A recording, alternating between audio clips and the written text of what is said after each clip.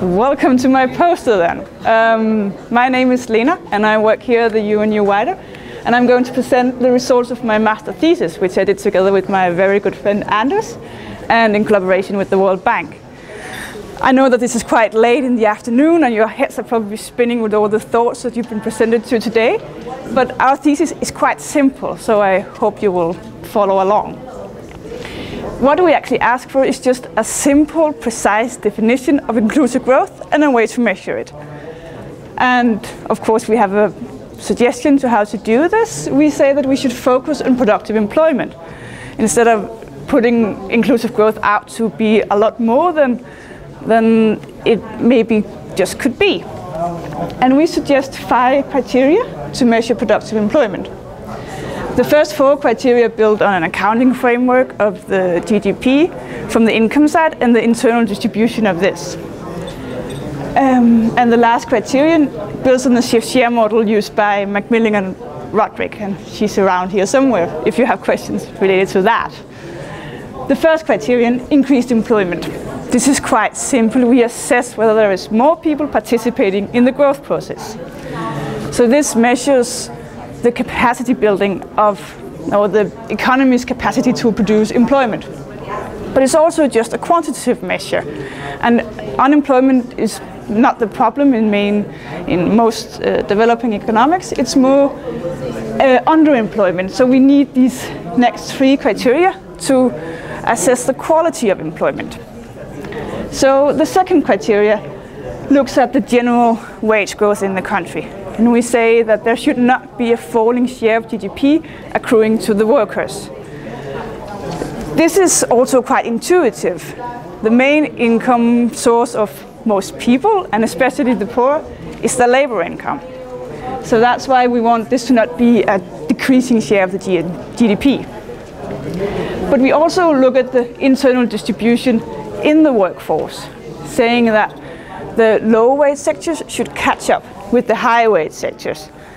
And this is looked at to say that the wage growth in the low wage sectors should be higher than the wage growth in the high wage sectors, just above and under average. Um, and as the agricultural sector is often the main low wage sector, this criterion um, almost always looks at whether there has been an increased agricultural productivity. And agricultural productivity is often proposed to be a way to reduce poverty. But another strategy to reduce poverty is structural transformation, which is what we look at in criterion 4, where we say that we should have people moving from low wage sectors and into higher wage sectors. This is, of course, simply structural transformation, but it's structural transformation looked at from the workers' point of view, saying that the workers should be the one benefiting from structural transformation. But of course, we also want the growth prospect to be there. So we also want the overall economy to benefit from the structural transformation. And that is the last and fifth criterion.